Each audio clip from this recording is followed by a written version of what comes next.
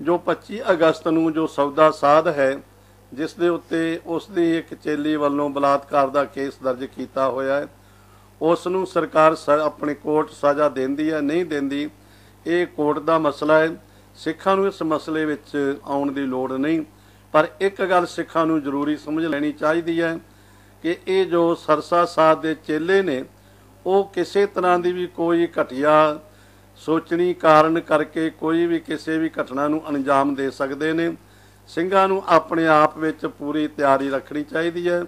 ਗੁਰੂ ਘਰਾਂ ਦੇ ਪ੍ਰਬੰਧ ਦੇ ਵਿੱਚ ਉਹਨਾਂ ਨੂੰ ਹਮੇਸ਼ਾ ਹੀ ਸਾਵਧਾਨ ਰਹਿਣ ਦੀ ਲੋੜ ਹੈ। ਗੁਰੂ ਘਰਾਂ ਦੀ ਸੁਰੱਖਿਆ ਦੇ ਵਾਸਤੇ ਉੱਥੇ ਸਿੰਘਾਂ ਨੂੰ ਇਕੱਤਰ ਹੋ ਕੇ ਆਪਣਾ ਪਹਿਰਾ ਦੇਣ ਦੀ ਵੀ ਜ਼ਰੂਰਤ ਹੈ ਤਾਂ ਕਿ ਕਿਸੇ ਪ੍ਰਕਾਰ ਦੀ ਵੀ ਕੋਈ ਐਸੀ ਘਣਾਉਣੀ ਘਟਨਾ ਨਾ ਕਰੇ। ਸਗੋਂ ਚੇਲਿਆਂ ਨੂੰ ਚਾਹੀਦਾ ਕਿ ਕੋਰਟ ਦੇ ਫੈਸਲੇ ਦੀ ਉਡੀਕ ਕਰਨ। ਕੋਰਟ ਦੇ ਉੱਤੇ ਸਾਰੇ ਨੂੰ ਭਰੋਸਾ ਰੱਖਣਾ ਚਾਹੀਦਾ ਹੈ।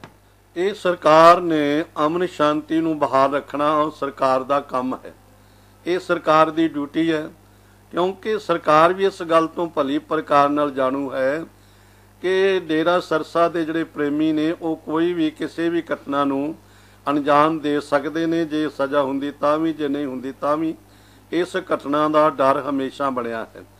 ਇਸ ਕਰਕੇ ਉਹਨਾਂ ਨੇ ਜਿਹੜਾ ਪ੍ਰਬੰਧ ਕੀਤਾ ਪ੍ਰਬੰਧ ਉਹਨਾਂ ਨੂੰ ਵਧੀਆ ਕਰਨਾ ਚਾਹੀਦਾ ਹੈ ਔਰ ਇਸ ਦੇ ਕਾਰਨ ਡੇਰਾ ਸਿਰਸਾ ਦੇ ਕਾਰਨ ਕਿਸੇ ਦਾ ਜਾਨੀ ਤੇ ਮਾਲੀ ਨੁਕਸਾਨ ਨਹੀਂ ਹੋਣਾ ਚਾਹੀਦਾ। ਇਸ ਵਾਸਤੇ ਇਹਨਾਂ ਨੂੰ ਜ਼ਰੂਰੀ ਤਿਆਰ ਰੱਖਣਾ ਚਾਹੀਦਾ ਹੈ। ਮੇਰਾ ਸਵਾਲ ਹੈ ਕਿ ਸੁਰੱਖਿਆ ਠੀਕ ਲਾਈ ਹੈ ਜੀ? ਬਿਲਕੁਲ। ਮੈਂ ਪਹਿਲਾਂ ਬੇਨਤੀ ਸਪਸ਼ਟ ਕਰ ਚੁੱਕਿਆ ਹਾਂ ਕਿ ਸਰਕਾਰ ਦਾ ਕੰਮ ਹੈ ਸੁਰੱਖਿਆ ਰੱਖਣੀ ਅਮਨ ਸ਼ਾਂਤੀ ਬਹਾਲ ਰੱਖਣੀ। ਅਮਨ ਸ਼ਾਂਤੀ ਬਹਾਲ ਰੱਖਣ ਵਾਸਤੇ ਸੁਰੱਖਿਆ ਕਰਨੀ ਉਹਨਾਂ ਦਾ ਮੁੱਢਲਾ ਫਰਜ਼ ਹੈ।